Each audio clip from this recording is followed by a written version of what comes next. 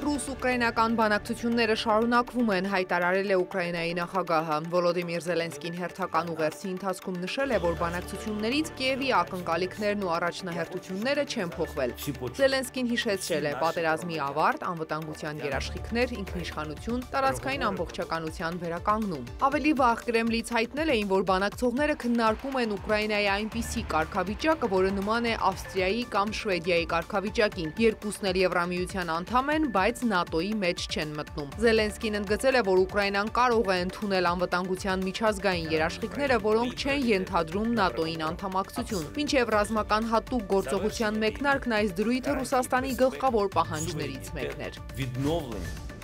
Ռուսաստանի նախագահի մամուլի քարտուղարը քննադատել է ԱՄՆ նախագահ Ջո Բայդենին, որը լրագրողների հետ ճեպազրույցի ժամանակ Վլադիմիր Պուտինին անվանել է ռազմական հանցագործ։ Անթույլատրելի եւ աններելի ենք համարում նման հռետորաբանությունը մի պետության ղեկավարի կողմից, որի ռումբերից 100 հազարավոր մարդիկ են զոհվել ամբողջ աշխարհում, ասել է Դմիտրի Պեսկովը։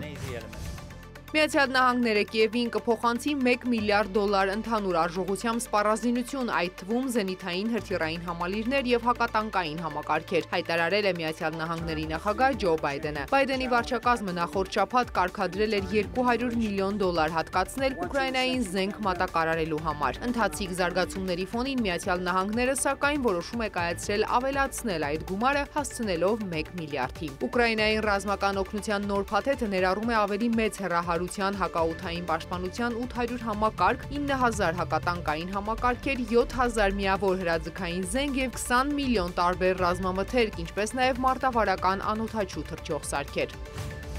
Հյուսիսատլանտյան դաշինքը մոտ 140 հազար զինվոր է տեղակայել Եվրոպայում, այս մասին հայտարարել է ՆԱՏՕ-ի գլխավոր քարտուղար Յենս Ստոլտենբերգը, հավելելով, որ զինված ուժերը գտնվում են մարտական բարձր պատրաստվածության վիճակում։ ՆԱՏՕ-ի գլխավոր քարտուղարի խոսքով այդ աջակցությունը ցուցաբերում են խոշոր ավիացիոն եւ ծովային ուժերը, ինչպես նաեւ հոп համակարգեր։ Ավելի վաղ Ստոլտենբերգը նախազգուշացրել է ռուսական կողմին, որ դաշինքը պատրաստ է պաշտպանել իր անդամ երկրների ամեն մի ձյույմը։